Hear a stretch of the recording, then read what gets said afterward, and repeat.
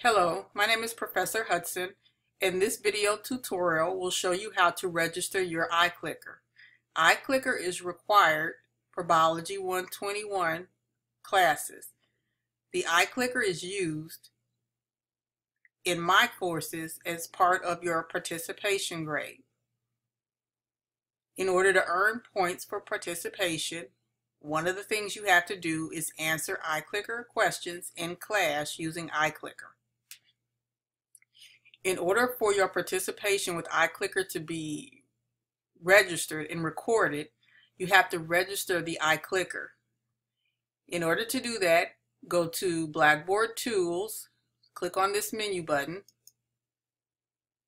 and look for where it says iClicker Student Registration click on this link and it gives you a picture of the back of the clicker for iClicker 2 and the interior battery compartment for iClicker 1.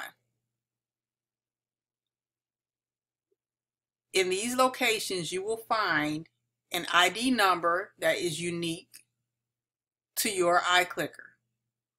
Type this number in the box above and then click submit.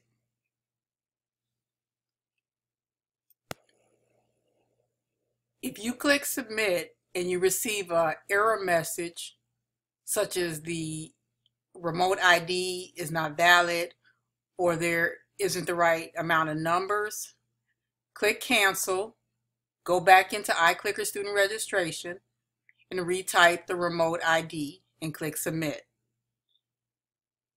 If you do this successfully, it should give you a message somewhere in this region on, on another screen showing the date and time that your iClicker was registered.